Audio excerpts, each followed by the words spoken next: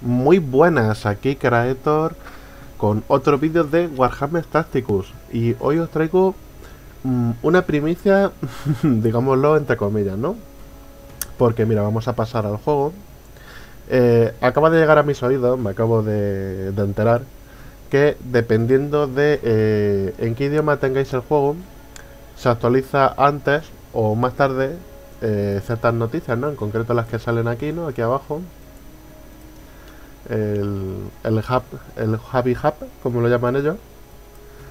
Entonces, pues, eh, resulta que en la versión en castellano todavía no han puesto la noticia de eh, que, van a, que va a llegar en, en diciembre, ¿no? En, breve, en poco tiempo.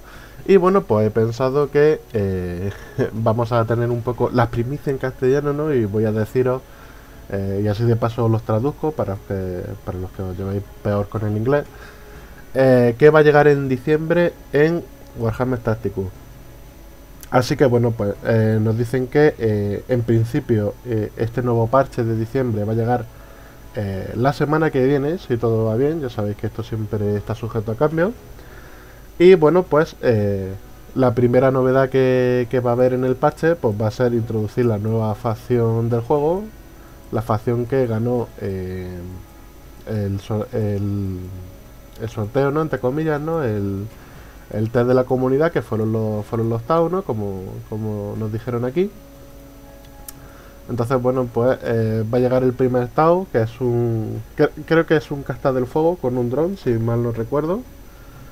Eh, os haré un vídeo en cuanto salga, ¿no? Explicando cómo, cómo es, cómo funciona, cuanto sepamos más detalles, porque yo soy el primero que está deseando saberlo. Lo siguiente es que va a haber un nuevo... Eh, un nuevo jefe de asalto de clanes que va a ser Sarek.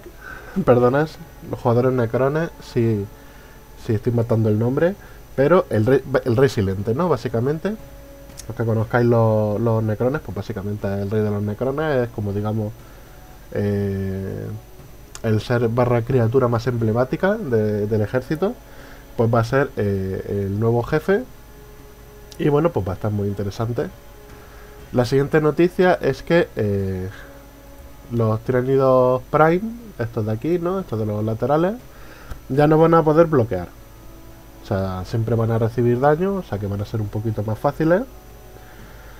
Y eh, bueno, pues otra noticia eh, muy deseada por mí, la verdad, es que va a haber una nueva senda de los Aeldari, como veis esta ya está acabando, el día 4 de diciembre y se va a llamar El Camino del Fénix. Entonces, bueno, pues eh, como os dije ¿no? en aquel vídeo en el que jugábamos a adivinar cuál sería el próximo, yo pienso que va a ser Mogun Ra.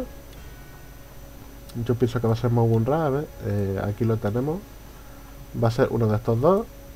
Sabemos que es legendario y aquí podemos ver las características que tiene, ¿no? Y este pues sabemos que inflige terror, que lleva una arma pesada, y que tiene vigilancia. Así que yo creo que va a ser Magunra. El segundo no lo tengo tan claro. Yo creo que va a ser Carandras por el tema de que se infiltra.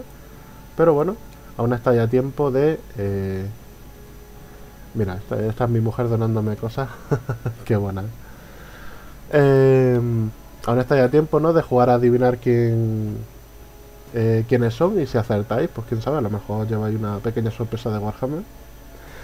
Y bueno, pues eh, todavía, hay, más noticias, la verdad es que eh, se viene un parche bastante grande, bastante chulo. Va a haber un modo de campaña nuevo, del que ojalá os pudiera decir más, pero no han dado muchos detalles, que eh, se llama Elite Indomitus.